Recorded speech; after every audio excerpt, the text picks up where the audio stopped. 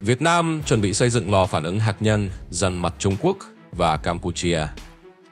Vừa qua, chuyến thăm của Tổng thống Nga Putin đến Việt Nam đã kết thúc tốt đẹp và mở ra nhiều cơ hội hợp tác song phương trên nhiều lĩnh vực. Đặc biệt, thông tin Nga đang hỗ trợ xây dựng lò phản ứng hạt nhân nghiên cứu mới với công suất 10 MW cho Việt Nam là một thông tin tích cực và gây dư luận đặc biệt trong cộng đồng quốc tế. Cụ thể, dự án hợp tác xây dựng Trung tâm Nghiên cứu Khoa học và Công nghệ Hạt nhân và lò phản ứng hạt nhân giữa Việt Nam và Liên bang Nga ra sao? Tại sao đây là một thông tin vô cùng thu hút sự chú ý của nhiều nước trong khu vực châu Á-Thái Bình Dương? Và dụng ý của Nga là gì khi hỗ trợ cho Việt Nam tiếp cận với công nghệ hạt nhân đúng thời điểm này? Mời quý vị theo dõi video ngay sau đây để tìm hiểu chi tiết. Nga đã bắt tay với Việt Nam để triển khai một số dự án hạt nhân. Theo ông Trần Trí Thành, Viện trưởng Viện Năng lượng Nguyên tử thuộc Bộ Khoa học và Công nghệ, Liên bang Nga đang hỗ trợ Việt Nam thực hiện dự án Trung tâm Nghiên cứu Khoa học Công nghệ Hạt nhân. Dự án này bao gồm việc xây dựng lò phản ứng hạt nhân nghiên cứu mới có công suất 10 MW, cũng như hợp tác đào tạo nguồn nhân lực. Ông Trần Trí Thành cho biết, để triển khai dự án, việc xây dựng đội ngũ cán bộ chuyên gia cần được đầu tư bài bản và lâu dài. Bộ Khoa học và Công nghệ đã có các phương án chuẩn bị nguồn nhân lực cho quản lý và triển khai thực hiện dự án ở các giai đoạn khác nhau, đồng thời đưa ra kế hoạch chuẩn bị nguồn nhân lực cho vận hành, đảm bảo an toàn và khai thác hiệu quả trung tâm sau khi đi vào hoạt động. Đây là lần đầu tiên Việt Nam triển khai một dự án xây dựng lò phản ứng hạt nhân nghiên cứu công suất lớn. Để hỗ trợ công tác thẩm tra và thẩm định cho báo cáo nghiên cứu khả thi, báo cáo phân tích an toàn và hồ sơ thiết kế, Bộ Khoa học và Công nghệ đã đề nghị Tập đoàn Nhà nước về năng lượng hạt nhân Rosatom của Nga tạo điều kiện để một số cán bộ Việt Nam được tham gia thực hiện thiết kế cơ sở của lò phản ứng và các tính toán phân tích an toàn kèm theo. Rosatom cũng giúp Việt Nam trong việc đào tạo cán bộ vận hành lò phản ứng nghiên cứu. Ngoài ra, để nghiên cứu và khai thác hiệu quả lò nghiên cứu mới, đảm bảo an toàn khi trung tâm đi vào hoạt động, Bộ Khoa học và Công nghệ đã giao Viện Năng lượng Nguyên tử Việt Nam xây dựng các nhóm chuyên môn sâu về vật lý lò, thiết kế, sử dụng cây ngang, sản xuất đồng vị phóng xạ trên lò nghiên cứu, nghiên cứu vật liệu chiếu xạ có ích, làm bán dẫn, nghiên cứu phân tích kích hoạt, bảo vệ môi trường, an toàn hạt nhân vân vân. Viện cũng đã ký thỏa thuận hợp tác với các đối tác Nga như Trường Đại học Nghiên cứu Bách khoa Tomsk vào tháng 10 năm 2017 và Đại học Nghiên cứu Hạt nhân Quốc gia Nga MFI vào tháng 12 năm 2023 trong hợp tác nghiên cứu và đào tạo cán bộ trong các lĩnh vực năng lượng nguyên tử. Viện trưởng Viện Năng lượng Nguyên tử Trần Trí Thành cho biết, trước mắt, Việt Nam và Liên bang Nga sẽ tập trung đẩy mạnh triển khai thực hiện dự án, đảm bảo đúng tiến độ, hiệu quả và tuân thủ các quy định của Cơ quan Năng lượng Nguyên tử Quốc tế IAEA ngày 19 tháng 6. Đại sứ Nga tại Việt Nam Gennady Bezdetko nhấn mạnh rằng Nga coi trọng các nỗ lực chống biến đổi khí hậu và trong chuyển đổi năng lượng công bằng, khẳng định sẵn sàng hợp tác với Việt Nam trong lĩnh vực năng lượng sạch và khử carbon cho nền kinh tế. Ông cho biết, Nga, với tư cách là một trong những nước dẫn đầu thế giới trong lĩnh vực này, sẵn sẵn sàng cung cấp cho Việt Nam những công nghệ hiện đại nhất trong lĩnh vực điện sạch đáng tin cậy và ổn định. Trước hết là điện hạt nhân, được nhiều nước châu Á lựa chọn làm giải pháp thay thế cho các nguồn năng lượng truyền thống. Phó Thủ tướng Nga Dmitry Chernyshchenko trong chuyến thăm Việt Nam vào tháng 4 năm 2023 cũng khẳng định nước này sẵn sàng tham gia xây dựng nhà máy điện hạt nhân tại Việt Nam. Hãng TASS dẫn lời ông Chernyshenko nói rằng điện hạt nhân có thể đóng vai trò quan trọng trong việc đảm bảo chủ quyền năng lượng của Việt Nam và giúp Việt Nam đạt được các mục tiêu về chống biến đổi khí hậu. Nga sẵn sàng tham gia và hỗ trợ Việt Nam nếu nước này quyết định xây dựng nhà máy điện hạt nhân công suất cao hoặc thấp. Ông đã phát biểu như vậy trong chuyến thăm, trong đó có gặp gỡ các lãnh đạo ngành năng lượng hạt nhân của Việt Nam tại Viện Năng lượng Nguyên tử Việt Nam. Dự án Trung tâm Nghiên cứu Khoa học Công nghệ Hạt nhân được triển khai trên cơ sở Hiệp định Liên Chính phủ giữa Việt Nam và Nga về xây dựng Trung tâm Tâm Khoa học và Công nghiệp trên lãnh thổ Việt Nam ký ngày 21 tháng 11 năm 2011. Trung tâm này được xây dựng để thay thế lò phản ứng hạt nhân Đà Lạt thúc đẩy các ứng dụng hạt nhân, đóng góp vào phát triển kinh tế xã hội. Ông Trần Trí Thành cho biết, dự án nhằm phát triển nguồn nhân lực trong lĩnh vực này, với thiết bị chính là lò phản ứng nghiên cứu mới công suất 10 MW. dự kiến đặt vào các lĩnh vực khoa học vật liệu chiếu xạ, khoa học sinh học, đồng vị phóng xạ, kỹ thuật lò phản ứng, an toàn bức xạ, vân vân. Thưa quý vị, trên đây là những thông tin mới nhất về dự án hợp tác về năng lượng nguyên tử giữa Việt Nam và Liên bang Nga. Quý vị nghĩ sao về việc phát triển các dự án năng lượng hạt nhân tại Việt Nam? Hãy bình luận số 1 nếu đồng ý, hoan nghênh dự án, hoặc chia sẻ suy nghĩ, ý kiến riêng của quý vị xung quanh vấn đề cực nóng này trong phần bình luận ngay dưới video này. Công nghệ điện hạt nhân, triển vọng và thách thức tại Việt Nam Công nghệ điện hạt nhân đang nổi lên như một giải pháp tiềm năng để giải quyết nhu cầu năng lượng ngày càng tăng tại Việt Nam. Với tốc độ phát triển kinh tế nhanh chóng, nhu cầu về điện năng của Việt Nam đang gia tăng đáng kể, đòi hỏi các nguồn năng lượng mới và bền vững. Trong bối cảnh đó, điện hạt nhân được xem là một trong những lựa chọn khả thi nhất nhờ khả năng cung cấp lượng điện lớn, ổn định và ít gây ô nhiễm môi trường so với các nguồn năng lượng hóa thạch truyền thống. Một trong những triển vọng lớn nhất của công nghệ điện hạt nhân tại Việt Nam là khả năng giảm bớt sự phụ thuộc vào các nguồn năng lượng nhập khẩu. Hiện nay, Việt Nam phải nhập khẩu một lượng lớn than và dầu mỏ để đáp ứng nhu cầu năng lượng nội địa. Điện hạt nhân có thể giúp giảm bớt sự phụ thuộc này, đồng thời đảm bảo an ninh năng lượng quốc gia. Hơn nữa, việc phát triển các nhà máy điện hạt nhân còn tạo ra cơ hội việc làm và thúc đẩy sự phát triển của ngành công nghiệp phụ trợ, từ đó góp phần thúc đẩy tăng trưởng kinh tế. Tuy nhiên, bên cạnh những triển vọng, việc triển khai công nghệ điện hạt nhân tại Việt Nam cũng đối mặt với nhiều thách thức đáng kể. Đầu tiên là vấn đề an toàn hạt nhân, một mối quan tâm lớn không chỉ đối với Việt Nam mà còn với toàn thế giới. Các sự cố hạt nhân trong quá khứ như Chernobyl và Fukushima đã để lại những hậu quả nghiêm trọng, khiến dư luận quốc tế luôn cảnh giác và lo ngại về khả năng xảy ra tai nạn tương tự. Do đó, việc đảm bảo an toàn trong thiết kế, xây dựng, vận hành và bảo trì các nhà máy điện hạt nhân là yếu tố tiên quyết một thách thức khác là chi phí đầu tư ban đầu cao. Xây dựng và vận hành một nhà máy điện hạt nhân đòi hỏi vốn đầu tư khổng lồ không chỉ để xây dựng cơ sở hạ tầng, mà còn để đào tạo nguồn nhân lực chuyên môn cao và xây dựng hệ thống quản lý an toàn. Điều này đặt ra một bài toán khó khăn cho Việt Nam trong việc huy động nguồn vốn và tìm kiếm các đối tác quốc tế đáng tin cậy. Ngoài ra, Việt Nam còn phải đối mặt với thách thức về quản lý chất thải hạt nhân. Chất thải hạt nhân là loại chất thải nguy hiểm và có thể tồn tại trong hàng ngàn năm, đòi hỏi các biện pháp quản lý và xử lý đặc biệt. Hiện nay Việt Nam chưa có đủ kinh nghiệm và công nghệ tiên tiến để quản lý hiệu quả loại chất thải này. Cuối cùng, sự chấp nhận của công chúng đối với công nghệ điện hạt nhân cũng là một thách thức không nhỏ. Người dân cần được thông tin đầy đủ về lợi ích và rủi ro của điện hạt nhân, từ đó tạo ra sự đồng thuận xã hội và ủng hộ các dự án điện hạt nhân. Trong bối cảnh đó, để thành công triển khai công nghệ điện hạt nhân, Việt Nam cần xây dựng một chiến lược phát triển toàn diện, bao gồm việc hợp tác quốc tế, đào tạo nguồn nhân lực, đầu tư vào công nghệ an toàn và quản lý chất thải hiệu quả. Chỉ khi đó, điện hạt nhân mới có thể trở thành một phần quan trọng trong cơ cấu năng lượng của Việt Nam, góp phần đảm bảo an ninh năng lượng và phát triển bền vững đất nước. Gần đây, thông tin về việc ba nhà máy điện hạt nhân phía Nam của Trung Quốc gần biên giới Việt Nam đã đi vào hoạt động – gồm nhà máy điện hạt nhân Phòng Thành tỉnh Quảng Tây, nhà máy điện hạt nhân Trường Giang tại tỉnh Quảng Đông và nhà máy điện hạt nhân Sương Giang trên đảo Hải Nam đã tạo nên nhiều luồng ý kiến trái chiều. Hầu hết người dân đều lo ngại trước nguy cơ do gì hạt nhân khi các nhà máy này nằm cách Việt Nam không quá xa. Dưới góc nhìn của các chuyên gia, ngoài độ an toàn trong người dân, họ còn lo ngại với các vấn đề mang tầm vĩ mô hơn. Nhiều giả thuyết đã được đưa ra về lý do tại sao Trung Quốc lại xây dựng nhà máy điện hạt nhân sát biên giới Việt Nam thay vì Nga hay bất kỳ quốc gia nào giáp danh khác. Vậy thực hư câu chuyện này ra sao? Trung Quốc có ý đồ gì khi đưa ra những quyết định khó hiểu như vậy?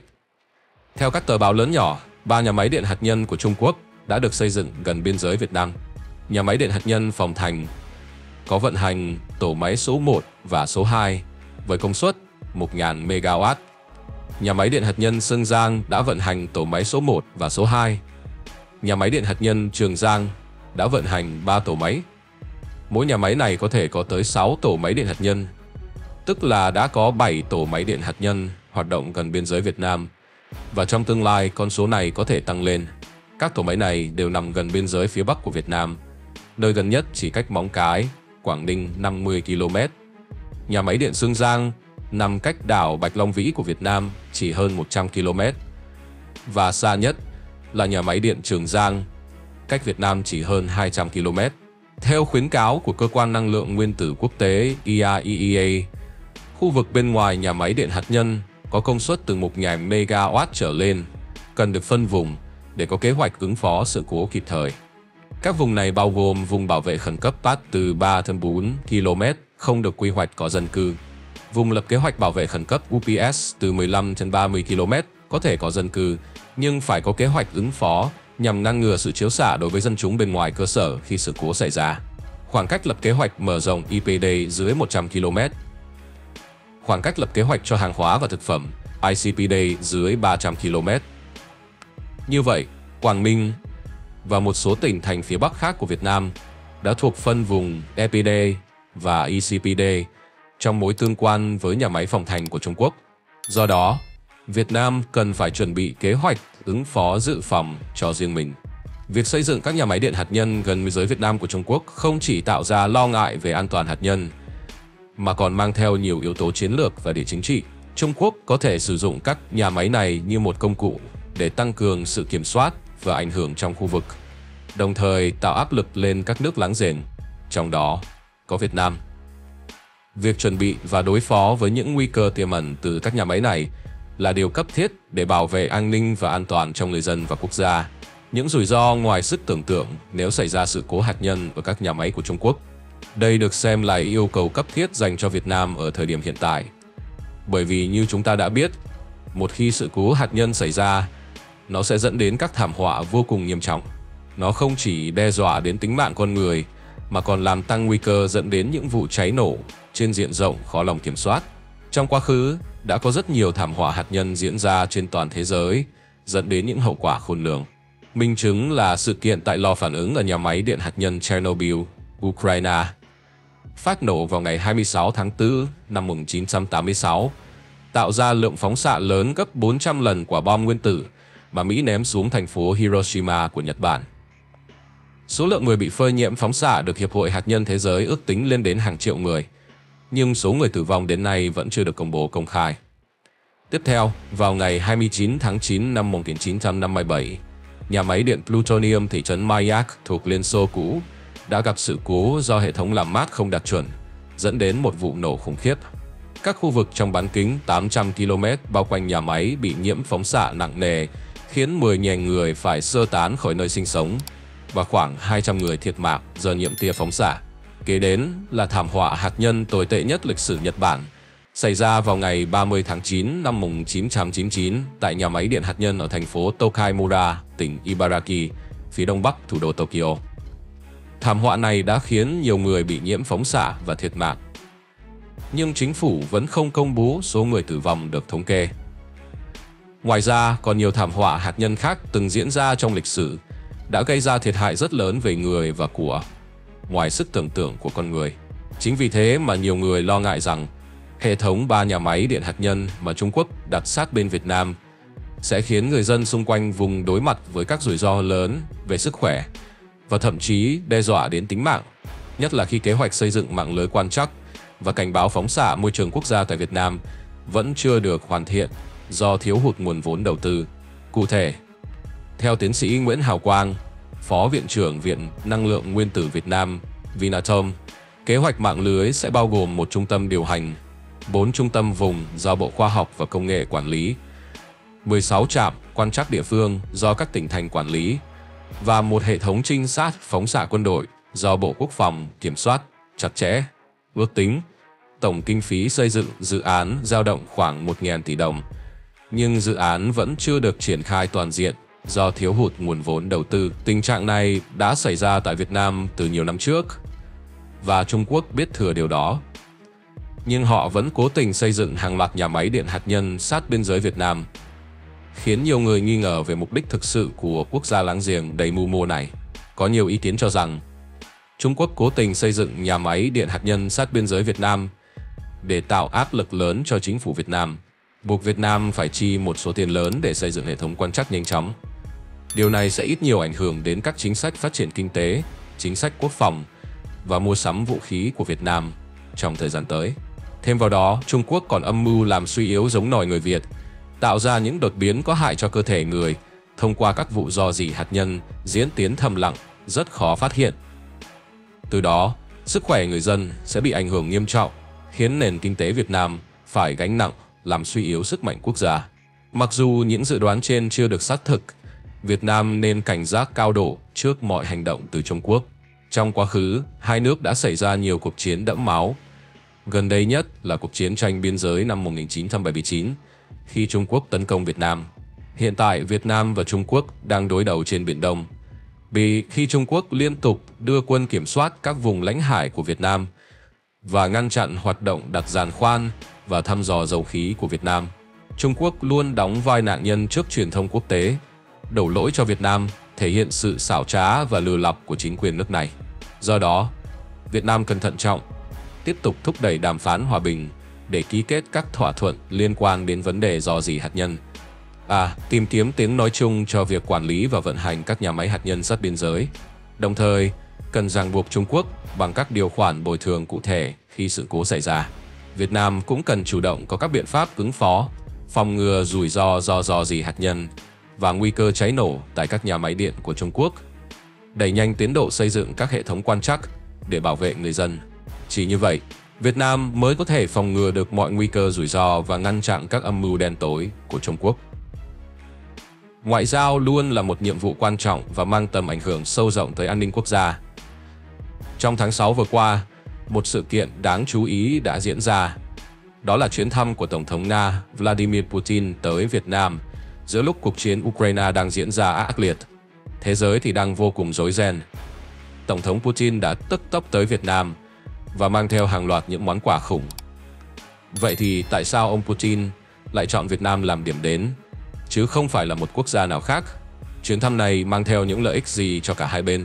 Chúng ta hãy cùng nhau khám phá trong video ngày hôm nay nhé! Chuyến thăm cấp bách của Tổng thống Putin tới Việt Nam đã gây tiếng vang lớn trên toàn cầu và cũng kèm theo đó là vô vàn câu hỏi được báo chí quốc tế đặt ra cho nước Việt.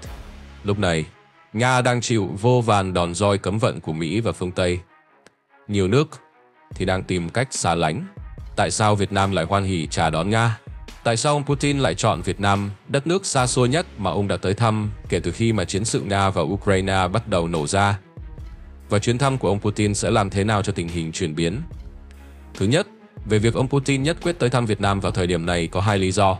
Đầu tiên, Chuyến thăm này có ý nghĩa đặc biệt quan trọng khi diễn ra vào dịp kỷ niệm 30 năm ngày hai nước ký hiệp ước cơ bản về nguyên tắc hữu nghị Việt Nam-Nga năm 1999 và sắp tới là kỷ niệm 75 năm ngày thiết lập quan hệ ngoại giao chính thức vào năm sau, năm 2025. Có thể nói rằng, chuyến thăm này là cực kỳ quan trọng trong việc củng cố vị thế ngoại giao của Việt Nam với một đối tác chiến lược toàn diện như Nga trong bối cảnh mới và tình hình mới. Phía Nga cũng cho rằng việc ông Putin chọn Việt Nam để thăm ngay sau khi tái đắc cử cũng cho thấy ông Putin đánh giá rất cao vị thế của Việt Nam và quan trọng của quan hệ Việt Nam-Nga. Lý do thứ hai, ông Putin cũng đang rất muốn thoát khỏi vòng vây cấm vận từ Mỹ và phương Tây. Hiểu đơn giản, thông qua chuyến công du của ông Putin tới Việt Nam, ông đã phát đi tín hiệu cho thế giới thấy rằng chiến lược hướng về phương Đông của họ vẫn đang đi đúng hướng và phương Tây sẽ thất bại trong việc cô lập Nga. Hơn nữa, từ một khía cạnh khác, Việt Nam với góc nhìn là người bạn thân thiết và lâu năm của Nga, có thể hỗ trợ và các chuyên gia kinh tế đều gật đầu nhất trí. Việt Nam là một nền kinh tế đang phát triển với tốc độ rất nhanh và hoàn toàn có đủ tiềm lực trong mối quan hệ kinh tế song phương với Nga trong các lĩnh vực như sản xuất nông nghiệp, du lịch hay khai thác. Trong khi đó, Nga cũng đang dồn toàn lực cho công cuộc tái cơ cấu nền kinh tế đối ngoại. Điều này cho thấy chuyến thăm này càng có ý nghĩa thiết thực hơn về mặt kinh tế. Báo chí Mỹ và phương Tây thì cũng liên tiếp đưa tin, nhưng hầu như chỉ ở thái độ đánh giá, chứ không đưa ra bất kỳ một bình luận tiêu cực nào về chuyến thăm này. Đây cũng là một điểm sáng khá mới, bởi trước đây, mỗi khi Việt Nam tỏ thái độ thân thiết với Trung Quốc hay Nga, thì báo chí truyền thông phương Tây đều cực lực lên tiếng phản đối và chỉ trích. Tiếp tục, phía Trung Quốc thì bày tỏ sự ngưỡng mộ về mối quan hệ Việt Nam-Nga. Tờ nhật báo lớn nhất của Trung Quốc là tờ SCMP thì bày tỏ cuộc đón tiếp của Việt Nam với Tổng thống Putin giống như một thú tình cảm đặc biệt trên thế giới mà ít có quốc gia nào sánh kịp. Qua đó thì cũng cho thấy thái độ nể trọng của họ với chuyến thăm này. Đối với nhiều người, mối quan hệ thân thiết giữa Việt Nam và Nga có thể chỉ là những ký ức mờ nhạt từ thời Liên Xô còn tồn tại. Tuy nhiên thực tế thì lại hoàn toàn khác. quan hệ giữa hai nước hiện nay không chỉ đơn thuần là sự kế thừa từ quá khứ, mà còn được phát triển mạnh mẽ và đa dạng hơn rất nhiều. Mối quan hệ Việt Nam-Nga ngày nay là một câu chuyện phức tạp và đầy sắc màu. Nó trải dài qua nhiều lĩnh vực, từ kinh tế, quân sự, cho tới cả văn hóa, giáo dục. Nó không chỉ là những hoài niệm về quá khứ, mà là một mạng lưới phức tạp và bền vững, phản ánh sự gắn bó và hợp tác toàn diện trên nhiều lĩnh vực. Đó là một câu chuyện đầy thú vị và sâu sắc, khó có thể tóm gọn trong vài lời. Ngay khi vừa mới nhận chức Tổng thống vào năm 2000, Tổng thống Putin đã lập tức tiến hành các thủ tục xóa nợ, với món nợ lên tới hơn 11 tỷ đô cho phía Việt Nam. Phải nói rằng, vào đúng như năm tháng vừa thoát cấm vận, hòa nhập cùng với kinh tế thế giới, khoản nợ ấy như đã tháo xích cho nền kinh tế Việt Nam, nhất là nước Nga vào những năm đầu thế kỷ 21, vẫn còn đang gặp rất nhiều khó khăn. Vậy mà nước mạnh mà cũng thể là Tổng thống Putin vẫn quyết định xóa một khoản nợ lớn tới vậy. Và cũng nhờ hành động đó, chỉ vài năm sau, Việt Nam đã xoay được nguồn tiền để khởi công xây dựng nhà máy Thủy điện Sơn La, lớn nhất Đông Nam Á, giúp giải quyết được phần nào bài toán thiếu điện cho ngành công nghiệp hóa hiện đại hóa sau này. Trước khi được xóa nợ, mỗi năm Việt Nam phải trả cho Nga hay lợi số trước kia khoảng hơn 80 triệu đô. Trước chuyến thăm của Tổng thống Vladimir Putin tới Việt Nam, Nga và Việt Nam đã đạt được sự hợp tác mạnh mẽ trong nhiều lĩnh vực kinh tế. Hai quốc gia đã tăng cường đầu tư và phát triển các dự án năng lượng, cơ khí, y học và nông nghiệp. Tập đoàn Gazprom và các công ty năng lượng của Nga như Zerobetsnet và Novatech đã chủ động mở rộng hoạt động và đầu tư tại Việt Nam. Với các dự án như cổ phần hóa nhà máy lọc dầu Dung Quất, tăng trưởng mạnh mẽ trong thương mại dưới ánh nước, không ngừng nâng cao kim ngạch xuất nhập khẩu, minh chứng cho sự đa dạng và chất lượng của hàng hóa Việt Nam đã được người tiêu dùng Nga ưa chuộng. Mặc dù trong bối cảnh căng thẳng với phương Tây, thực nhưng mối quan hệ kinh tế giữa Nga và Việt Nam thì vẫn tiếp tục phát triển tích cực. Và như vậy, nếu như từ chối hợp tác với Nga sẽ có hại nhiều hơn là có lợi. Ngược lại, việc hợp tác với Nga mang lại rất nhiều lợi ích. Theo số liệu năm 2022, thì GDP tính theo sức mua tương đương của Nga đã xếp ở vị trí thứ 6 thế giới. Với việc việc buôn bán của quốc gia này với các đối tác phương Tây đang bị gián đoạn, Việt Nam đang có cơ hội lớn để phát triển kinh tế với Nga. Hơn nữa, mối quan hệ kinh tế giữa hai nước đã kéo dài trong nhiều thập kỷ, bao gồm cả giai đoạn thời Liên Xô. Và dựa trên tình hình hiện tại, nó chắc chắn sẽ tiếp tục phát triển mạnh mẽ hơn. Việc hợp tác với Nga không chỉ giúp Việt Nam tận dụng được tiềm năng của một thị trường mới, mà còn mở rộng cơ hội cho các hoạt động thương mại và đầu tư. Sự ổn định và bền vững của mối quan hệ kinh tế giữa hai nước còn có thể mang lại lợi ích lâu dài, đảm bảo cho sự phát triển toàn diện trong nhiều lĩnh vực. Do đó, đẩy mạnh hợp tác với Nga được xem là một chiến lược có tầm nhìn và tiềm năng lớn cho Việt Nam trong bối cảnh thế giới đang chịu rất nhiều sự biến động và không chắc chắn. Mối quan hệ giữa Việt Nam và Nga là một minh chứng điển hình cho sự bền chặt và lâu dài trong quan hệ quốc tế. Sau khi Liên Xô tan rã, Nga vẫn tiếp tục đóng vai trò quan trọng, trở thành nhà cung cấp vũ khí chủ lực cho Việt Nam. Tuy nhiên, không giống như trước đây, mối quan hệ hiện nay được xây dựng trên cơ sở mua bán sáng suốt và công bằng. Việc Mỹ dỡ bỏ lệnh cấm vận vũ khí từ năm 2016 đã mở ra cơ hội mới cho Việt Nam trong việc đa dạng hóa hệ thống vũ khí của mình. Điều này cho phép Việt Nam có thể tiếp cận với các công nghệ quân sự tiên tiến từ phương Tây. Từ đó, nâng cao năng lực quốc phòng và tăng cường sự linh hoạt trong việc lựa chọn các dòng vũ khí, thiết bị quân sự phù hợp với nhu cầu chiến lược của quốc gia. Tuy nhiên, nói gì thì nói, vũ khí Nga vẫn rất tốt về nhiều mặt, do chi phí mua sắm, bảo trì thì cực kỳ rẻ, cũng như không bị áp đặt các điều kiện về dân chủ hay nhân quyền. Việt Nam đã thực hiện những đầu tư chiến lược quan trọng để củng cố hệ thống phòng không quốc gia bằng việc mua các hệ thống tên lửa từ Nga. Năm 2003, chúng ta mua tổ hợp tên lửa S-300 PMU-1. Sau đó thì đến năm 2012, chúng ta tiếp tục mua phiên bản nâng cấp S-300 PMU-2. Cả hai hệ thống này đều cải thiện khả năng chống nhiễu và tầm bắn, nâng cao năng lực phòng thủ của Việt Nam. Năm 2011, Việt Nam cũng nhận được hệ thống tên lửa phòng thủ bờ biển K-300P Best 1P từ Nga đánh dấu sự tiến bộ trong khả năng bảo vệ biển đảo. Hệ thống này được sử dụng bởi quân chủng hải quân với khả năng tấn công mục tiêu từ xa, với tính linh hoạt cao, đóng vai trò quan trọng trong việc đảm bảo chủ quyền biển của Việt Nam. Những hệ thống tên lửa này không chỉ là công cụ phòng thủ hiện đại mà nó còn được coi là biểu tượng của sự hợp tác chiến lược Nga-Việt. Điều này nó phản ánh sự quan tâm của Nga tới an ninh khu vực Đông Nam Á và vị thế chiến lược của Việt Nam trong khu vực này. Đến năm 2013, Việt Nam đã ký hợp đồng mua 12 máy bay chiến đấu Su-30 từ Nga.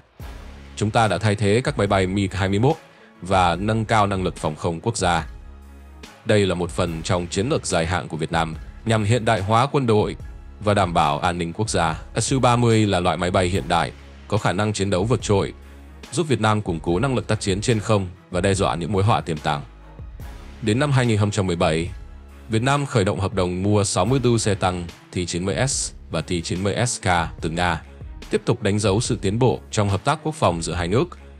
Được trang bị với hệ thống giáp bảo vệ tiên tiến và khả năng cơ động cao, các xe tăng này đã cải thiện đáng kể khả năng tác chiến và bảo vệ chủ quyền lãnh thổ của Việt Nam. Năm 2009, Việt Nam đặt mua 6 tàu ngầm Project 636MV từ Nga là một phần trong chiến lược hiện đại hóa và tăng cường sức mạnh hải quân. Điều này nhằm đảm bảo chủ quyền biển đảo và đánh dấu tiếp tục một bước tiến mới trong năng lực phòng thủ biển của Việt Nam. Các tàu ngầm này đáp ứng được các công nghệ quân sự hiện đại, đem lại sự nâng cao đáng kể cho khả năng chiến đấu dưới nước của Việt Nam. Thực tế thì quyết định tiếp tục mua vũ khí hệ Nga đã phản ánh sự tỉnh táo của lãnh đạo Hà Nội trong việc đánh giá về hiệu quả và tính kinh tế của các hệ thống vũ khí. Các quyết định mua sắm vũ khí không chỉ dựa trên yếu tố chính trị, mà còn phải bao gồm cả khả năng sử dụng hiệu quả và các điều khoản thương mại hấp dẫn từ Nga. Ngoài ra, những lời quảng cáo mơ hồ về hiệu quả của vũ khí Mỹ cũng có thể làm giảm sự tin tưởng của Việt Nam và các sản phẩm này. Điều này thể hiện rằng Việt Nam đang nắm bắt một chiến lược hợp lý trong việc phát triển năng lực quốc phòng và bảo vệ an ninh quốc gia. Hãy cùng xem xét một ví dụ cụ thể để so sánh nhé. Nếu bây giờ chúng ta quyết định mua một khẩu pháo Caesar 155mm của Pháp, thì chúng ta chỉ có thể sử dụng đạn pháo 1 tân 555mm được sản xuất bởi Pháp mà thôi. Điều này có nghĩa là nếu sử dụng đạn từ một nước khác, thậm chí là kể cả một đồng minh phương Tây của họ đi, thì có thể gây ra rủi ro nổ lòng hoặc các vấn đề về kỹ thuật khác. Bên cạnh đó, chi phí bảo trì và vận hành các loại vũ khí này cũng có thể rất cao và phụ thuộc nhiều vào nguồn cung đạn từ Pháp. Trái lại, nếu chúng ta xem xét hai khẩu là 152L, 2S3 và D20 của Nga, chúng ta sẽ thấy khả năng linh hoạt hơn. Hai loại pháo này có thể hoán đổi và sử dụng đạn của nhau một cách dễ dàng. Thậm chí còn có thể sử dụng đạn từ các nhà sản xuất khác như Trung Quốc. Điều này không chỉ giảm bớt sự phụ thuộc vào một nguồn cung đạn duy nhất, mà còn giảm thiểu chi phí liên quan đến bảo trì và vận hành. Việc sử dụng vũ khí của Nga mang lại lợi ích tiết kiệm thời gian học tập cho quân đội Việt Nam. So với việc chuyển sang sử dụng vũ khí phương Tây như nhiều nước Đông Âu đòi hỏi phải học lại từ đầu, thì việc tiếp tục sử dụng vũ khí Nga thì chỉ cần tập trung vào việc nâng cấp. Nhờ vậy mà cán bộ quân đội Việt Nam không cần phải đầu tư nhiều thời gian và nguồn lực cho việc đào tạo, vì họ đã có sẵn kiến thức nền tảng về hệ vũ khí Nga. Lợi ích về mặt thời gian này cũng mang lại rất nhiều lợi ích thực tế. Việc rút ngắn thời gian học tập sẽ cho phép quân đội Việt Nam nhanh chóng nâng cao khả năng sử dụng vũ khí, sẵn sàng ứng phó với các tình huống an ninh, quốc phòng, đồng thời tiết kiệm chi phí đào tạo Nga, tạo thêm nguồn lực để đầu tư vào các lĩnh vực khác. Việc sử dụng chung vũ khí của Nga cũng có phần tăng cường hợp tác quốc phòng giữa Việt Nam và Nga, tạo thuận lợi cho việc trao đổi về kinh nghiệm, hỗ trợ kỹ thuật và bảo dưỡng vũ khí việc chúng ta tiếp tục mua vũ khí từ Nga thể hiện quyết định sáng suốt của lãnh đạo nhà nước. Đây là minh chứng cho sự độc lập tự chủ trong việc mua sắm vũ khí, đặt lợi ích quốc gia lên hàng đầu. Chúng ta không phụ thuộc vào bất kỳ một thế lực nào. Quyết định này cho thấy tầm nhìn chiến lược và sự am hiểu về hiệu quả của vũ khí Nga. Nhờ vậy, Việt Nam có thể đảm bảo an ninh quốc phòng, bảo vệ chủ quyền lãnh thổ một cách hiệu quả. Mục đích của chuyến thăm đầu tiên và quan trọng nhất thì mọi dự đoán vẫn chỉ là sự giả định do lý do sự thực đằng sau việc này đều được bảo vệ bởi nó là bí mật quốc gia. Tuy nhiên, từ các thông tin hiện có, chúng ta có thể dựa vào và phân tích để hiểu rõ hơn về lý do mà Nga quyết định thăm Việt Nam vào thời điểm hiện tại là gì. Sự kiện này không chỉ là một số mốc quan trọng trong mối quan hệ song phương, mà nó còn đặt ra nhiều câu hỏi về hướng đi của tương lai và những ảnh hưởng của nó đối với cả hai quốc gia. Rõ ràng, nước Nga đang bị bao vây cấm vận và đang gặp khó khăn, nhưng vị thế của nước Nga và quyền lực của ông Putin nói riêng thì vẫn là điều không thể bác bỏ. Mặc dù Mỹ và EU đã thể hiện sự không hài lòng khi chuyến thăm của đại sứ phụ trách trừng phạt bị hoãn lại, nhưng các phương tiện truyền thông của Nga thì không có ý định là châm biếm hay làm nổi bật vấn đề này với phương Tây. Thậm chí, Moscow còn không công bố thông tin rằng Tổng thống Putin sẽ tới Việt Nam ngay sau khi vị đại sứ của EU bị từ chối. Mà theo vào đó, họ còn chờ đợi cho tới khi tình hình ổn định trở lại trước khi tiến hành hành động này. Khi tin tức về việc từ chối đại sứ EU tràn ngập, Thứ trưởng Ngoại giao Nga cũng chỉ nhấn mạnh rằng họ đang tiếp tục hoàn thiện các thủ tục thông thường của một hoạt động ngoại giao nhằm khẳng định rằng đây chỉ là một phần của quá trình ngoại giao bình thường mà thôi, chứ không có ý định là nhắm vào ai. Và từ điều này, ta có thể khẳng định được rằng, khác với phương Tây, luôn cố gắng kéo Việt Nam vào một cuộc đối đầu với Nga và Trung Quốc, thì Moscow chỉ cần đảm bảo rằng Việt Nam hãy tiếp tục duy trì được đường đối trung lập của mình. Về căn bản, ông Putin hiểu rõ rằng Hà Nội sẽ không bao giờ chấp nhận làm công cụ cho bất kỳ một phe phái nào. Và ông cũng nhận thức được rằng nước Nga ngày nay thì không còn quá mạnh mẽ như Liên Xô ngày xưa ngày xưa để gây áp lực hoàn toàn lên một nước khác. Trong bối cảnh phức tạp của địa chính trị quốc tế, Việt Nam có thể tận dụng cơ hội này để điều tiết mối quan hệ giữa hai cực lớn là Hoa Kỳ và Trung Quốc. Trong khi Bắc Kinh thường xuyên đe dọa chủ quyền Biển Đông và Washington thường xuyên đối mặt với những sự khó đoán định, họ thường xuyên ủng hộ các tổ chức phản động nhằm thúc đẩy cách mạng màu, thì Nga được coi là một đối tác đáng tin cậy hơn. Việt Nam cũng rất cần Nga là một cực quyền lực để cân bằng lại áp lực từ phía Mỹ và Trung Quốc. Hãy ngắm và xem nhé. Khi mà Trung Quốc đang có tranh chấp với Việt Nam ở Biển Đông, Mỹ thì nắm trong tay các con bài là các thế lực chống đối từ lâu. Thì Nga là một quốc gia mà không có tranh chấp hay xung đột lợi ích nào với Việt Nam. Nga thì đang đối đầu trực tiếp với Mỹ và phương Tây. Nga thì cũng lại là một quốc gia thân cận với Trung Quốc. Việt Nam hoàn toàn có thể hợp tác với Nga để cân bằng lại các mối đe dọa từ hai cường quốc thông qua đàm phán hay đối thoại trung gian. Việc mời Tổng thống Putin đến thăm vào thời điểm này cũng sẽ góp phần củng cố mối quan hệ giữa hai quốc gia, đồng thời thể hiện sự đoàn kết và sẵn sàng hợp tác với Moscow trong bối cảnh biến động toàn cầu. Sự hiện diện của Putin tại Việt Nam cũng có thể được hiểu là một tín hiệu rằng Hà Nội muốn duy trì sự cân bằng và đa dạng hóa quan hệ đối ngoại. Chỉ trong vòng chưa đầy 9 tháng, Việt Nam liên tiếp đón Tổng thống Mỹ Joe Biden, Chủ tịch Trung Quốc Tập Cận Bình, tiếp tục nâng cấp quan hệ ngoại giao chiến lược với một loạt các quốc gia. Chính vì vậy, Việt Nam đón ông Putin để tiếp tục khẳng định đường nối trung lập, cân bằng lợi ích, một đặc trưng của ngoại giao cân bằng mà chúng ta không phải làm hẳn về bên nào.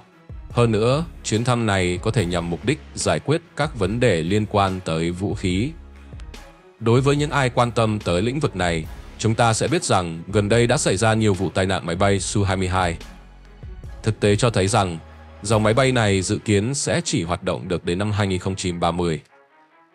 Và cũng vì lý do đó, có nhiều đề xuất mua các loại máy bay F-16 của Mỹ. Tuy nhiên, như đã phân tích ở trên, vũ khí đến từ phương Tây hiện vẫn còn nhiều điểm không phù hợp. Do đó, có lẽ giải pháp tốt nhất hiện nay có thể là việc mua thêm máy bay chiến đấu như Su-25 hoặc Su-34 từ Nga để bù đắp những hạn chế của hệ thống vũ khí hiện tại. Đây là một trong những vấn đề quan trọng nhất liên quan tới vũ khí mà Việt Nam đang phải đối mặt và cần giải quyết trong thời gian tới. Việc Tổng thống Nga tới thăm có thể sẽ là cơ hội tốt để thảo luận. Ông Gennady Bezasku, đại sứ đặc mệnh toàn quyền của Nga tại Việt Nam, đã nhấn mạnh về sự quan trọng của việc tăng cường hợp tác giữa hai nước trong nhiều lĩnh vực kinh tế và quốc phòng. Ông chia sẻ, hy vọng rằng trong việc củng cố mối quan hệ chặt chẽ từ năng lượng, sản xuất công nghiệp cho tới giáo dục, quốc phòng và an ninh, tất cả những món quà mà Nga mang tới Việt Nam đều là những đóng góp to lớn, đa chiều và khá là chi tiết. Công nghệ điện sạch và điện hạt nhân Nga cam kết hỗ trợ Việt Nam với những công nghệ tiên tiến nhất trong lĩnh vực năng lượng, đặc biệt là điện hạt nhân, nhằm giúp Việt Nam phát triển một nguồn điện biển vững và sạch hơn. Hợp tác này không chỉ tạo ra các cơ hội mới trong việc cung cấp năng lượng, nghề mà còn nâng cao năng lực kỹ thuật và quản lý năng lượng của Việt Nam. Ông Putin cũng cam kết sẽ hỗ trợ tối đa Việt Nam trong quá trình nâng cấp các công trình thủy điện lớn ở miền Bắc. Nga cam kết hỗ trợ Việt Nam trong lĩnh vực quốc phòng và an ninh nhằm bảo vệ hòa bình, an ninh quốc gia và đối phó với các thách thức an ninh toàn cầu. Nga và Việt Nam đã tiến hành đàm phán ký kết nhiều văn kiện hợp tác quan trọng trong nhiều lĩnh vực khác nhau như giáo dục, tư pháp, quản lý hải quan, y tế và năng lượng. Những đóng góp này từ Nga không chỉ là những món quà vật chất, mà còn thể hiện những mối quan hệ chiến lược và lòng tin lâu dài, góp phần thúc đẩy sự phát triển toàn diện và bền vững trong thời đại toàn cầu hóa ngày nay. Lời kết Bất kể là có thiện cảm hay phản cảm, chúng ta cũng không thể phủ nhận rằng so với Pháp, Mỹ, Trung Quốc hay Nhật Bản, Nga cũng là những đối tác quan trọng của Việt Nam. Thì Nga trước nay chưa từng có hành động chống lại Việt Nam trong bất kỳ một lĩnh vực nào. Ngược lại, quan hệ giữa Việt Nam và Nga đã từng và đang được xây dựng trên nền tảng hỗ trợ và hợp tác mà Nga dành cho Việt Nam trong quá khứ và có thể sẽ tiếp tục vào tương lai. Sự hợp tác này không chỉ giúp Việt Nam về mặt quân sự, mà nó còn mở ra nhiều cơ hội hợp tác trong nhiều lĩnh vực khác nhau. Nga đóng vai trò như một đối tác đáng tin cậy. Họ luôn nhấn mạnh sự ổn định và sự phát triển bền vững trong quan hệ song phương giữa hai nước. Đồng thời, chuyến thăm của Tổng thống Putin cũng thể hiện sự độc lập và tự lực của Việt Nam trong đường lối ngoại giao. Việc Tổng thống Putin đến thăm Việt Nam một việc có vẻ như bình thường, thế nhưng lại trở thành một sự kiện đặc biệt và gây ấn tượng mạnh với nhiều quốc gia khác. Cơ quan báo chí Bộ Ngoại giao Mỹ đưa tin, trợ lý Ngoại trưởng Hoa Kỳ đặc trách các vấn đề Đông Á và Thái Bình Dương uh, Daniel Christenbrink sẽ tới Việt Nam vào ngày 21 đến 22 tháng 6. Ngay sau khi Tổng thống Nga Putin kết thúc chuyến thăm tới Hà Nội và ký hơn 10 văn kiện về quan hệ đối tác chiến lược. Ông Christenbrink dự kiến sẽ hội đàm với đại diện chính phủ Việt Nam để nêu bật cam kết của Washington trong việc thực hiện quan hệ đối tác chiến lược toàn diện song phương và hợp tác với Việt Nam nhằm hỗ trợ một khu vực Ấn Độ Dương-Thái Bình Dương tự do và rộng mở. Ngoại giao Mỹ cũng sẽ tái khẳng định sự ủng hộ của nước Mỹ đối với một nước Việt Nam hùng mạnh, độc lập, bền vững và thịnh vượng. Trong chuyến thăm, vấn đề chuẩn bị cho các cuộc họp cấp bộ trưởng của Hiệp hội các quốc gia Đông Nam Á ASEAN sẽ được tổ chức tại Viên Chăn, Lào vào tháng tới sẽ được nêu ra. Chuyến ngoại giao tức tốc của Hoa Kỳ khiến cho chúng ta phải đặt ra câu hỏi Nga đã mang gì tới Việt Nam và nó có ý nghĩa gì với Hà Nội? Tại sao chính quyền Mỹ ngay lập tức cắt cử quan chức tới Hà Nội để hội đàm với Việt Nam? Trước tiên, Nga đánh giá cao lập trường cân bằng về Ukraine và coi Việt Nam là đối tác cùng chí hướng trong việc hình thành cấu trúc an ninh Á Âu mới. Điều này đã được Tổng thống Nga Vladimir Putin nêu trong bài viết đăng trên báo Nhân dân với tiêu đề Nga và Việt Nam, tình hữu nghị được thử thách qua thời gian. Bài báo viết rằng Liên bang Nga biết ơn những người bạn Việt Nam vì lập trường cân bằng trong cuộc khủng hoảng Ukraine, vì mong muốn đóng góp vào việc tìm kiếm những giải pháp thực sự một cách hòa bình. Tất cả những điều này hoàn toàn phù hợp với tinh thần và bản chất của mối quan hệ của chúng ta. Trên trang web của Điện Kremlin nêu rõ, chúng tôi đánh giá cao việc các nước chúng ta có những cách tiếp cận trùng khớp hoặc tương tự nhau về các vấn đề hiện tại trong chương trình nghị sự quốc tế. Chúng tôi tương tác chặt chẽ tại các nền tảng đa phương quan trọng, chủ yếu là tại Liên Hợp Quốc. Chúng tôi có những đánh giá tương tự về tình hình ở khu vực châu Á-Thái Bình Dương. Chúng tôi thấy ở Việt Nam một người có cùng chí hướng trong việc hình thành một cấu trúc mới về an ninh Á-Âu bình đẳng và không thể chia cắt trên cơ sở toàn diện và không phân biệt đối xử. Sau đó, Nga và Việt Nam ký hơn 10 văn kiện về quan hệ đối tác chiến lược. Có 4 điểm lưu ý trong những văn kiện được ký kết này. Thứ nhất, Tổng thống Nga công bố kế hoạch triển khai dự án Ellen tại Việt Nam. Tổng thống Nga Putin đã viết trong tài liệu mà chúng ta vừa trích dẫn ở trên như sau. Lĩnh vực năng lượng vẫn là lĩnh vực hợp tác song phương có tầm quan trọng chiến lược. Liên doanh Vietso Petro đã phát triển các mỏ trên thềm lục địa Việt Nam trong hơn 4 thập kỷ, cho thấy hiệu quả cao. Khối lượng dầu sản xuất trong suốt những năm qua đã vượt qua 250 triệu tấn. Tài liệu được trích dẫn trên trang web của Điện Kremlin. Ông viết tiếp, đổi lại, Gazprom sản xuất khí đốt tại Việt Nam và một công ty lớn khác của Nga là Novatech dự định triển khai các dự án LNG trên lãnh thổ Việt Nam. Đây là một tin vui đối với Việt Nam, vì Việt Nam sẽ thu được một số lợi ích đáng kể từ việc Nga triển khai dự án LNG, khí tự nhiên hóa lỏng trong biên giới của mình. Về lợi ích kinh tế, dự án LNG giúp Việt Nam đa dạng hóa cơ cấu năng lượng, giảm sự phụ thuộc vào than và dầu. Sự đa dạng hóa này có thể tăng cường an ninh năng lượng bằng cách cung cấp nguồn năng lượng ổn định và đáng tin cậy. Hơn nữa, LNG có thể đóng vai trò như một biện pháp đệm chống lại tình trạng thiếu năng lượng, đặc biệt là trong thời kỳ nhu cầu cao điểm, đảm bảo cung cấp năng lượng ổn định cho sử dụng công nghiệp và dân dụng. Đồng thời, việc xây dựng và vận hành các cơ sở Erlanger tạo ra cơ hội việc làm cả trực tiếp trong dự án và gián tiếp thông qua các ngành liên quan như vận tải, bảo trì và dịch vụ. Thêm vào đó, việc thực hiện thành công dự án như vậy có thể thu hút thêm đầu tư trực tiếp từ nước ngoài, FDI vào ngành năng lượng của Việt Nam, thúc đẩy tăng trưởng và phát triển kinh tế nói chung. Về phát triển công nghệ và cơ sở hạ tầng, phát triển cơ sở hạ tầng LNG bao gồm các cơ sở lưu trữ và tái khí hóa có thể hiện đại hóa cơ sở hạ tầng năng lượng của Việt Nam, giúp cơ sở hạ tầng này hiệu quả hơn và có khả năng giải quyết các nhu cầu năng lượng trong tương lai. Dự án có thể bao gồm việc xây dựng các đường ống mới và cơ sở hạ tầng liên quan, có thể mang lại lợi ích cho các ngành và khu vực khác bằng cách cải thiện mạng lưới phân phối năng lượng. Đồng thời, hợp tác với các công ty Nga có thể tạo điều kiện thuận lợi cho việc chuyển giao công nghệ và chuyên môn LNG tiên tiến sang Việt Nam. Điều này có thể nâng cao năng lực kỹ thuật địa phương và thúc đẩy đổi mới trong lĩnh vực năng lượng. Về lợi ích địa chính trị và chiến lược, dự án LNG có thể tăng cường quan hệ Việt-Nga, thúc đẩy quan hệ kinh tế và chính trị chặt chẽ hơn.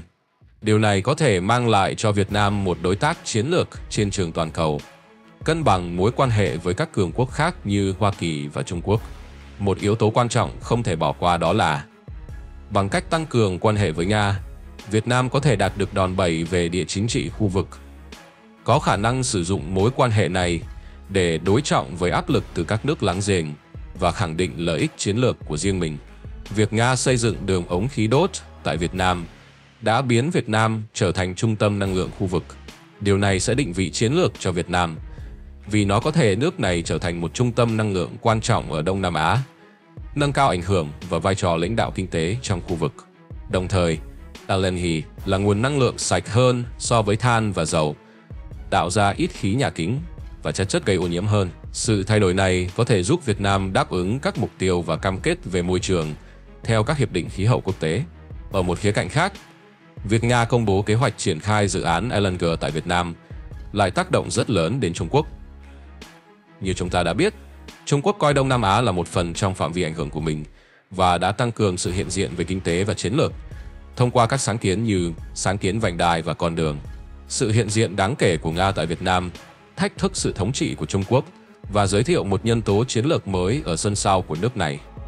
Khi quan hệ Việt-Nga được tăng cường, có thể khuyến khích Việt Nam can đảm hơn trong các tranh chấp lãnh thổ với Trung Quốc ở Biển Đông.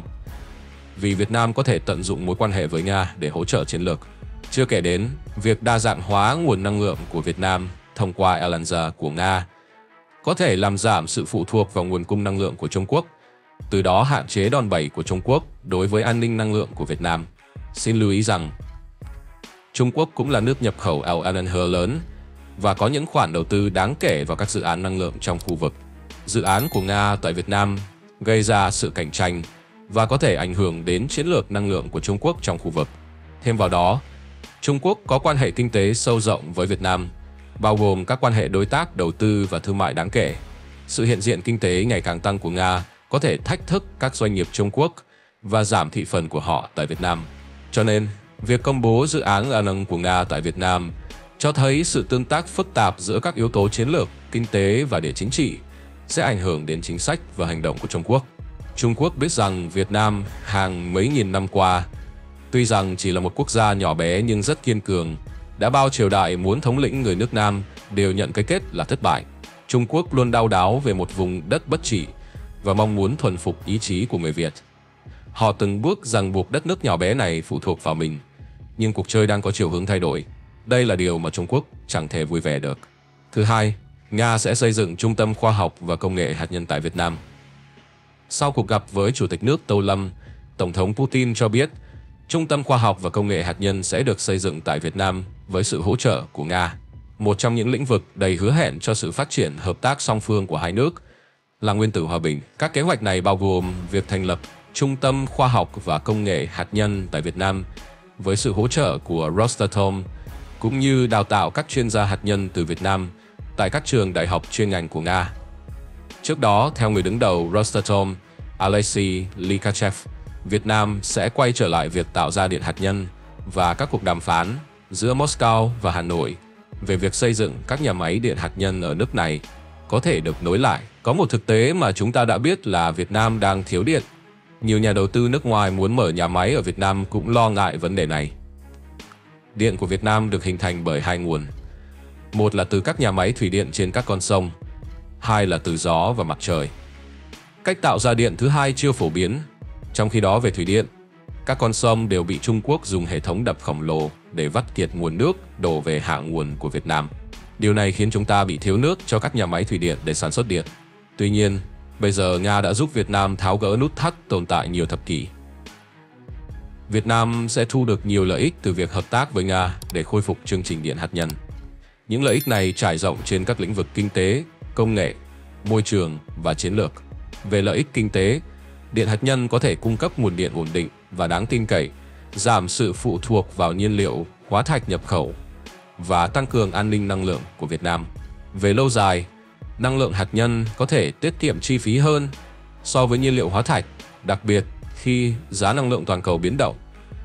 Điều này có thể dẫn đến chi phí năng lượng dễ dự đoán hơn và có khả năng thấp hơn cho người tiêu dùng và các ngành công nghiệp. Đồng thời, việc xây dựng vận hành và bảo trì các nhà máy điện hạt nhân tạo ra việc làm có tay nghề cao và kích thích hoạt động kinh tế trong các lĩnh vực liên quan như kỹ thuật, xây dựng và sản xuất. Một chương trình hạt nhân thành công có thể thu hút thêm đầu tư nước ngoài vào lĩnh vực công nghệ cao và năng lượng, thúc đẩy phát triển kinh tế tổng thể. Quan trọng hơn là việc hợp tác với Nga có thể tạo điều kiện thuận lợi cho cho việc chuyển giao công nghệ hạt nhân tiên tiến và kiến thức chuyên môn cho Việt Nam. Điều này có thể cải thiện năng lực của địa phương và thúc đẩy đổi mới trong lĩnh vực năng lượng. Chương trình hạt nhân có thể thúc đẩy nghiên cứu và phát triển khoa học, dẫn đến những tiến bộ trong nhiều lĩnh vực khác nhau như y học, nông nghiệp và khoa học môi trường thông qua các ứng dụng công nghệ hạt nhân. Thêm vào đó, năng lượng hạt nhân tạo ra điện với lượng phát thải khí nhà kính thấp hơn đáng kể so với than và khí tự nhiên, giúp Việt Nam đáp ứng các mục tiêu và cam kết về khí hậu theo các hiệp định quốc tế như thỏa thuận Paris. Bằng cách giảm sự phụ thuộc vào các nhà máy nhiệt điện than, năng lượng hạt nhân có thể góp phần mang lại chất lượng không khí tốt hơn và kết quả sức khỏe cộng đồng. Về lợi ích chiến lược và địa chính trị, quan hệ đối tác hạt nhân có thể tăng cường quan hệ ngoại giao và kinh tế của Việt Nam với Nga, tạo đối trọng cho mối quan hệ của Việt Nam với các cường quốc khác như Hoa Kỳ và Trung Quốc. Bằng cách đa dạng hóa quan hệ đối tác năng lượng, Việt Nam có thể nâng cao quyền tự chủ chiến lược và đòn bẩy trong địa chính trị, khu vực và toàn cầu. Việc thực hiện thành công chương trình điện hạt nhân có thể đưa Việt Nam trở thành quốc gia dẫn đầu trong lĩnh vực năng lượng ở Đông Nam Á, ảnh hưởng đến các chính sách và hợp tác năng lượng khu vực. Cho nên, khôi phục chương trình điện hạt nhân của Việt Nam với sự hỗ trợ của Nga mang lại lợi ích nhiều mặt, bao gồm tăng cường an ninh năng lượng, tăng trưởng kinh tế, tiến bộ công nghệ, bền vững môi trường và củng cố vị thế địa chính trị. Những lợi thế này hỗ trợ chung cho các mục tiêu phát triển dài hạn và lợi ích chiến lược của Việt Nam. Với Trung Quốc, đây lại là một tin chẳng mấy vui vẻ. Vì khi Việt Nam tăng cường quan hệ với Nga thông qua chương trình hạt nhân có thể làm thay đổi cán cân quyền lực ở Đông Nam Á, Trung Quốc có thể coi đây là một cuộc bao vây chiến lược hoặc một đối trọng với ảnh hưởng của chính họ trong khu vực, làm phức tạp thêm tham vọng thống trị khu vực của họ. Điều này đặt Trung Quốc vào lo ngại về an ninh. Một Việt Nam độc lập hơn về năng lượng và công nghệ tiên tiến hơn có thể tăng cường năng lực an ninh và quốc phòng quốc gia, có khả năng thách thức các lợi ích chiến lược của Trung Quốc, đặc biệt là trong các tranh chấp ở Biển Đông. Quan trọng nhất là năng lực được nâng cao của Việt Nam và mối quan hệ bền chặt hơn với Nga có thể ảnh hưởng đến tính toán chiến lược của các nước ASEAN khác, dẫn đến sự thay đổi tiềm tàng trong các liên minh khu vực, có thể thách thức ảnh hưởng của Trung Quốc tại ASEAN. Quan hệ đối tác hạt nhân có thể đóng vai trò là đối trọng với sáng kiến vành đai và con đường của Trung Quốc, mang đến cho các nước Đông Nam Á một mô hình đối tác thay thế và giảm sự phụ thuộc về kinh tế và chiến lược của họ vào Trung Quốc. Chúng ta biết rằng Trung Quốc có lợi ích đáng kể trong việc xuất khẩu các dự án năng lượng và công nghệ hạt nhân của riêng mình trên toàn cầu. Quan hệ đối tác của Việt Nam với Nga có thể tạo ra sự cạnh tranh với Trung Quốc trên thị trường năng lượng khu vực, có khả năng ảnh hưởng đến chiến lược và thị phần xuất khẩu năng lượng của Trung Quốc. Thêm nữa là đầu tư của Nga vào lĩnh vực hạt nhân của Việt Nam có thể chuyển hướng các khoản đầu tư và cơ hội tiềm tàng ra khỏi các công ty Trung Quốc, ảnh hưởng đến triển vọng kinh doanh và ảnh hưởng kinh tế trong khu vực của họ. Với sự hỗ trợ của Nga, Việt Nam có thể phát triển cơ sở hạ tầng và công nghệ hạt nhân tiên tiến, giảm khoảng cách công nghệ với Trung Quốc và có thể nổi lên như một trung tâm công nghệ hạt nhân trong khu vực, thách thức sự thống trị về công nghệ của Trung Quốc trong lĩnh vực này. Và một Việt Nam độc lập về năng lượng có thể trở nên ít phụ thuộc hơn vào nguồn cung năng lượng của Trung Quốc, lại một lần nữa làm giảm ảnh hưởng của Trung Quốc đối với Việt Nam về việc phụ thuộc năng lượng và an ninh. Tổng thống Nga Putin ghi nhận hợp tác giữa Nga và Việt Nam trong lĩnh vực nông nghiệp. Tổng thống Nga Vladimir Putin cho biết, sau cuộc gặp với Chủ tịch nước Việt Nam Tô Lâm, Nga và Việt Nam đang tích cực hợp tác trong lĩnh vực nông nghiệp, đặc biệt là mở rộng nguồn cung cấp thực phẩm cho nhau. Theo ông Putin, Nga và Việt Nam đang phát triển quan hệ đối tác song phương trong lĩnh vực nông nghiệp. Nguồn cung nông sản cho nhau ngày càng tăng và đa dạng hơn.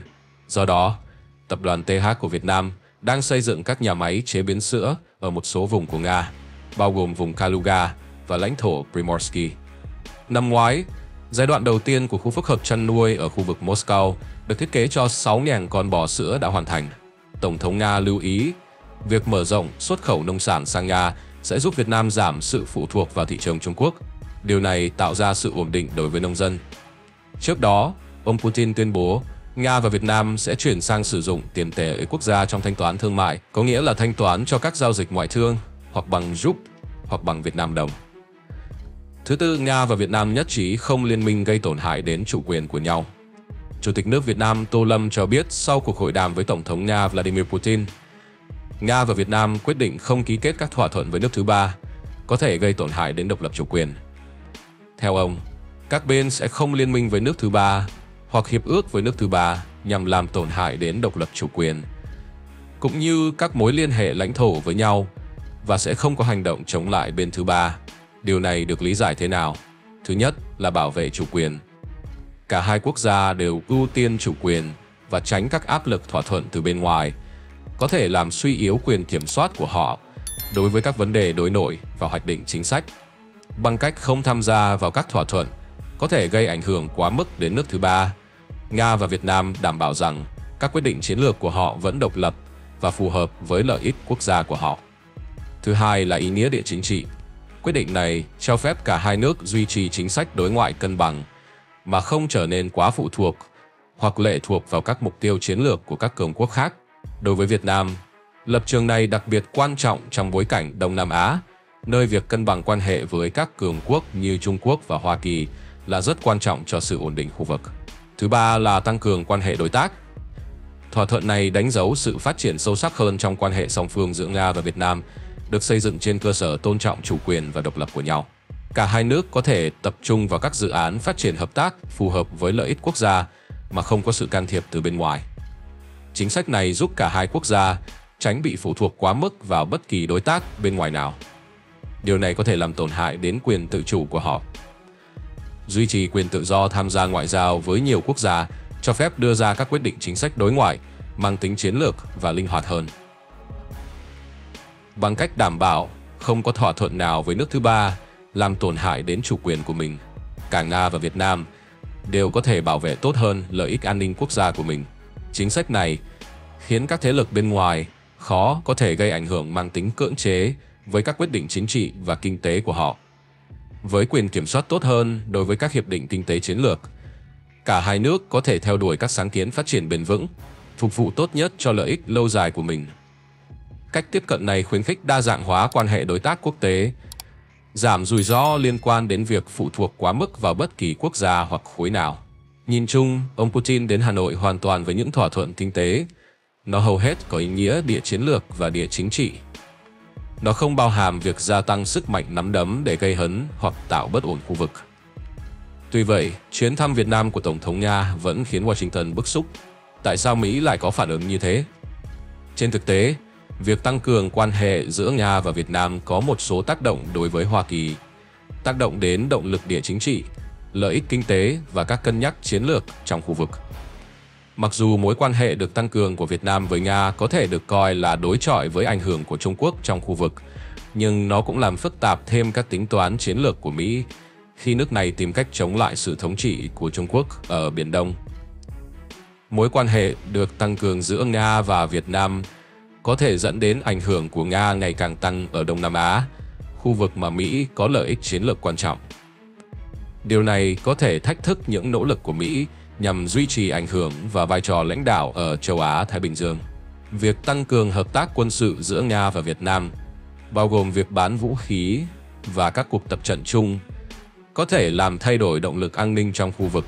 Điều này có thể buộc Mỹ phải đánh giá lại chiến lược quân sự và sự hiện diện của mình ở Đông Nam Á. Nếu Nga tăng cường tiếp cận các cơ sở quân sự của Việt Nam, nước này có thể mở rộng phạm vi hoạt động ở châu Á-Thái Bình Dương, thách thức các hoạt động của Hải quân và không quân Mỹ trong khu vực.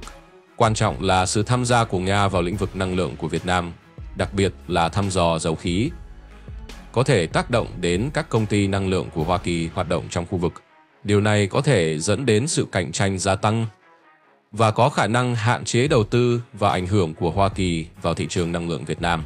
Việc tăng cường hợp tác Nga-Việt trong lĩnh vực năng lượng cũng có thể ảnh hưởng đến động lực an ninh năng lượng trong khu vực, ảnh hưởng đến chuỗi cung ứng năng lượng rộng lớn hơn mà Hoa Kỳ tham gia. Một quan hệ kinh tế chặt chẽ hơn giữa Nga và Việt Nam có thể dẫn đến các hiệp định thương mại có lợi cho các doanh nghiệp Nga, có khả năng gây tổn hại đến lợi ích kinh tế của Hoa Kỳ trong khu vực. Điều này có thể ảnh hưởng đến xuất khẩu của Hoa Kỳ và quan hệ kinh tế với Việt Nam. Hoa Kỳ có thể phải đối mặt với những thách thức ngoại giao trong việc duy trì quan hệ song phương bền chặt với Việt Nam nếu ảnh hưởng của Nga tăng lên đáng kể. Điều này có thể ảnh hưởng đến chiến lược của Hoa Kỳ trong việc lôi kéo Việt Nam trở thành đối tác quan trọng trong chống chiến lược Ấn Độ Dương-Thái Bình Dương. Hoa Kỳ cũng có thể cần điều hướng chính sách ngoại giao đa phương phức tạp hơn trong ASEAN vì ảnh hưởng ngày càng tăng của Nga ở Việt Nam có thể làm thay đổi liên kết khu vực và làm phức tạp thêm các nỗ lực của Hoa Kỳ nhằm xây dựng một liên minh gắn kết chống lại sự quyết đoán của Trung Quốc ở Việt Nam. Nhìn chung, sự hiện diện ngày càng tăng của Nga tại Việt Nam có thể tác động đến khả năng tiếp cận cơ sở hạ tầng chiến lược của Hoa Kỳ, hay như cảng và căn cứ không quân. Điều này có thể có tác động tới hoạt động hậu cần quân sự và triển khai sức mạnh của Hoa Kỳ trong khu vực. Hoa Kỳ cũng có thể cần giải quyết các rủi ro tiềm ẩn về công nghệ và an ninh mạng nếu Việt Nam áp dụng thêm công nghệ và cơ sở hạ tầng của Nga. Điều này có thể đặt ra thách thức cho các hoạt động tình báo và an ninh mạng của Hoa Kỳ. Chính vì thế mà việc làm sâu sắc hơn mối quan hệ Nga-Việt đặt ra một số thách thức chiến lược và kinh tế đối với Hoa Kỳ. Nó ảnh hưởng đến cân bằng quyền lực trong khu vực, làm phức tạp các cân nhắc về quân sự và quốc phòng, ảnh hưởng đến quan hệ đối tác kinh tế và đặt ra những thách thức ngoại giao. Mỹ sẽ cần điều hướng cẩn thận những động lực này để duy trì ảnh hưởng và bảo vệ lợi ích của mình ở Đông Nam Á. Trên thực tế, những việc mà Nga làm hôm nay đáng lẽ nên được Mỹ làm từ lâu. Đó mới là cách kéo Việt Nam về phía mình, hoặc ít nhất giữ Việt Nam an toàn và trung lập. Tuy nhiên, lợi ích chính trị quan trọng hơn cả lợi ích quốc gia. Đây là một thất bại về mặt chiến lược đối với Hoa Kỳ. Mua điện từ Trung Quốc không đáp ứng được nhu cầu. Tận dụng chuyến thăm của Putin, Việt Nam tiếp cận Nga để bàn về điện hạt nhân. Không hài lòng với việc mua điện từ Trung Quốc, Việt Nam tiếp cận Nga để bàn về điện hạt nhân trong chuyến thăm của Putin. Đó là một số tiêu đề giật tít, hoặc có thể nói là tự rát vàng lên mặt mình của truyền thông Trung Quốc. Sau khi nghe tin Nga hỗ trợ Việt Nam xây lò phản ứng hạt nhân, nghiên cứu công suất lớn sau chuyến thăm cấp nhà nước của Tổng thống Putin đến Việt Nam ngày 20 tháng 6 vừa qua. Sau cuộc gặp gỡ này, ngoài những nội dung được công bố rộng rãi trên các phương tiện truyền thông về sự hợp tác nhiều lĩnh vực từ kinh tế, thương mại, du lịch, giáo dục, vân vân, thì vấn đề được nhiều người quan tâm nhất chính là về năng lượng. Theo Thông tấn xã Việt Nam, ông Trần Trí Thành, Viện trưởng Viện Năng lượng Nguyên tử, Bộ Khoa học và Công nghệ, xác nhận Liên bang Nga đang hỗ trợ Việt Nam thực hiện dự án Trung tâm Nghiên cứu Khoa học Công nghệ Hạt nhân với lò phản ứng hạt nhân nghiên cứu mới có công suất 10 MW, cũng như hoạt động hợp tác, đào tạo nguồn nhân lực. Ngày 19 tháng 6, Đại sứ Nga tại Việt Nam Gennady Vedetko nhấn mạnh Nga coi trọng các nỗ lực chống biến đổi khí hậu và trong chuyển đổi năng lượng công bằng, khẳng định sẵn sàng hợp tác với Việt Nam trong lĩnh vực năng lượng sạch và giảm carbon cho nền kinh tế. Nga với tư cách là một trong những nước dẫn đầu thế giới trong lĩnh vực này, sẵn sàng cung cấp cho Việt Nam những công nghệ hiện đại nhất trong lĩnh vực điện sạch, tin cậy và ổn định. Trước hết là điện hạt nhân, được nhiều nước châu Á lựa chọn làm giải pháp thay thế các nguồn năng lượng truyền thống. Ngay lập tức, thông tin này đã được cập nhật trên các trang mạng xã hội trong và ngoài nước. Truyền thông Trung Quốc cũng thi nhau đưa tin về sự kiện này. Trước đó vào mùa hè năm 2023, miền Bắc Việt Nam đã rơi vào tình trạng thiếu điện và cắt điện luân phiên ở nhiều khu vực trong một thời gian ngắn. Đúng vào lúc này, Ủy ban nhân dân thành phố Móng Cái sẽ mua điện từ Trung Quốc trong các tháng 6-7. Điện nhận từ nguồn Trung Quốc sẽ được cấp cho trạm 100 kV Móng Cái và 100 kV Quảng Hà, huyện Hải Hà. Như chớp được cơ hội kiếm view, hàng loạt các hãng truyền thông Trung Quốc tư nhân đã đưa tin về sự kiện Việt Nam thiếu điện, phải cắt điện luân phiên và nhập khẩu gấp điện từ Trung Quốc. Chính vì vậy, dân mạng Trung Quốc đã được ăn một bữa tiệc hà hê. Cứ ngỡ Việt Nam đã phải phụ thuộc điện vào Trung Quốc. Chỉ cần Trung Quốc cắt điện, thì Việt Nam sẽ không thể phát triển nổi ngành công nghiệp của mình. Người dân Việt Nam có thể quay về thời đồ đá. Không ít những bình luận trên mạng xã hội Trung Quốc của những chú bò bị dắt mũi thường kêu khoan rằng Trung Quốc mà cắt điện của Việt Nam thì xem người Việt Nam sống như thế nào. Trên thực tế hiện nay, tổng công suất nhập khẩu điện của Việt Nam chỉ chiếm 2% tổng công suất của toàn hệ thống điện. Hiện công suất toàn hệ thống của Việt Nam là 55.880 MW, lượng điện nhập khẩu từ Lào khoảng 7 triệu kWh một ngày và Trung Quốc là 4 triệu kWh. So với sản lượng điện tiêu thụ tại miền Bắc, 440 đến 450 triệu kWh một ngày, thì tỷ trọng điện nhập khẩu này rất thấp. Chính vì vậy mà khi nghe tin Nga sẽ giúp Việt Nam phát triển điện hạt nhân thì Trung Quốc cũng phải tự đắc vàng lên mặt mình bằng những tiêu đề. Mua điện của nước ta không đáp ứng được nhu cầu. Trên thực tế, trong chuyến thăm của Putin, Việt Nam tiếp cận Nga để bàn hợp tác điện hạt nhân. Tổng thống Nga Vladimir Putin thăm Việt Nam lần thứ năm và hai bên dự kiến sẽ tăng cường hợp tác sâu rộng trong lĩnh vực công nghệ hạt nhân. Việt Nam mong muốn Nga sẽ hỗ trợ xây dựng trung tâm nghiên cứu công nghệ hạt nhân và hỗ trợ xây dựng các lò phản ứng hạt nhân mới để giải quyết vấn đề thiếu nguồn điện. Hợp tác điện hạt nhân Nga-Việt được coi là giải pháp thay thế so với việc Việt Nam tự cung cấp điện và mua điện từ Trung Quốc. Bài viết cũng cung cấp thông tin, lần này Tổng thống Nga thăm Việt Nam, hai bên dự kiến sẽ tăng cường hợp tác sâu rộng trong lĩnh vực công nghệ hạt nhân.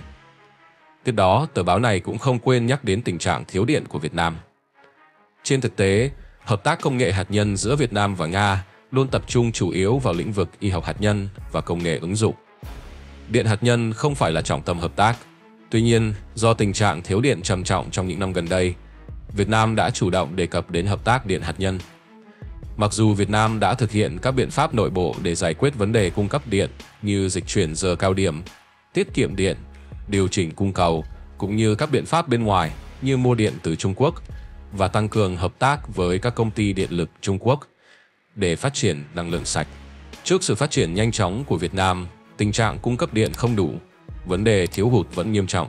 Ví dụ, tình trạng thiếu điện năm nay lên tới 13%. Vì vậy, Việt Nam cần coi điện hạt nhân là một trong những giải pháp. Dù Việt Nam hy vọng hợp tác với Nga trong lĩnh vực điện hạt nhân, nhưng sẽ không dễ giải quyết bài toán cung cấp điện trong ngắn hạn do thời gian xây dựng nhà máy điện hạt nhân kéo dài, đầu tư cao và rủi ro nhất định. Việt Nam vẫn cần phải dựa vào nỗ lực của chính mình để giải quyết căn bản bài toán điện. Hiện nay, hợp tác điện hạt nhân Nga-Việt được coi là giải pháp thay thế thứ ba so với việc Việt Nam tự cung cấp điện và mua điện từ Trung Quốc. Như các bạn đã thấy, tờ này thậm chí còn không nhắc đến tỷ lệ điện nhập khẩu của Việt Nam từ Trung Quốc là bao nhiêu phần trăm. Không biết báo chí Trung Quốc lấy thông tin năm nay Việt Nam thiếu điện 13% ở đâu ra. Tuy vậy, việc Việt Nam thiếu điện để phát triển công nghiệp nếu chỉ dựa vào thủy điện và nhiệt điện là câu chuyện thực tế. Trong những năm gần đây, việc các nước đang phát triển nộp đơn xin cơ quan năng lượng nguyên tử Liên Hợp Quốc xây dựng nhà máy điện hạt nhân để sản xuất điện là một chủ đề nóng. Hiện nay, các nước đang phát triển trên thế giới muốn phát triển điện hạt nhân.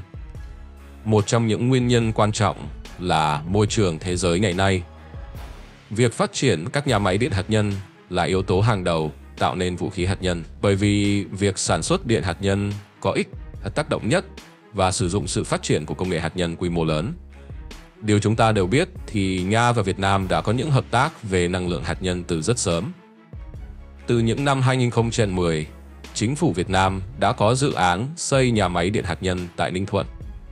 Tuy nhiên, tháng 11 năm 2016, Quốc hội Việt Nam đã quyết định dừng dự án điện hạt nhân Ninh Thuận. Giải thích việc dừng đó, chính phủ cho biết không phải do vấn đề công nghệ, an toàn mà điều kiện phát triển kinh tế vĩ mô của Việt Nam có nhiều thay đổi so với lúc quyết định đầu tư dự án.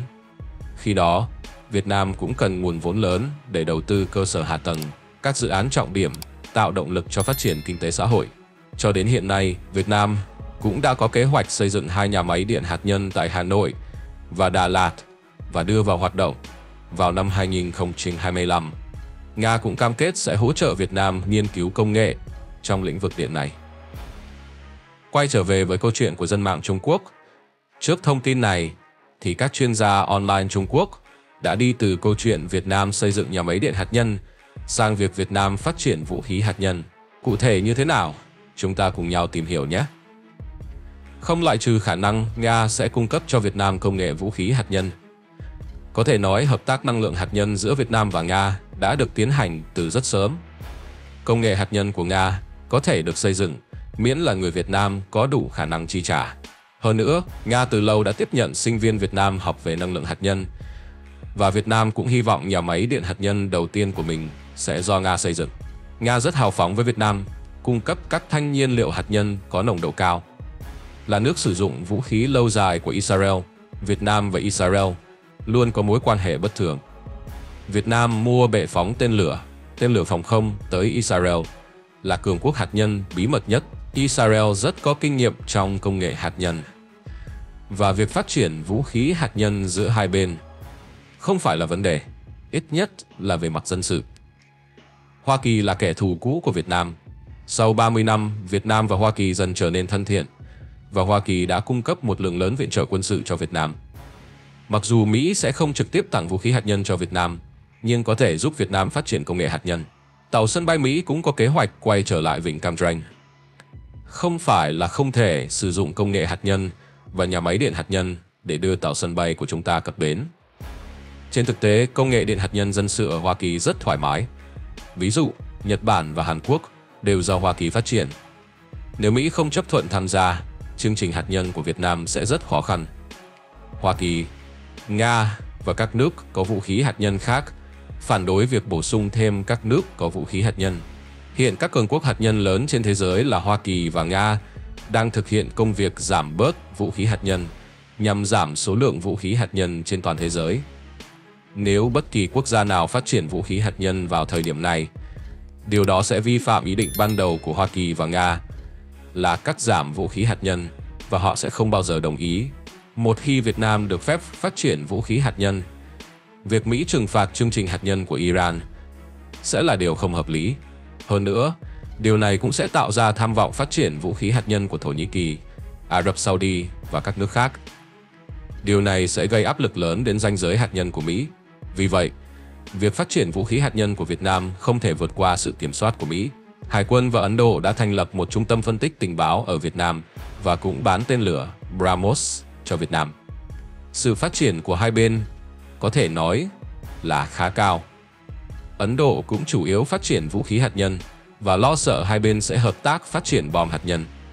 Từ kế hoạch hạt nhân của Việt Nam, chúng ta có thể thấy Việt Nam đã làm đủ bài tập về nhà để phát triển ngành công nghiệp hạt nhân của riêng mình.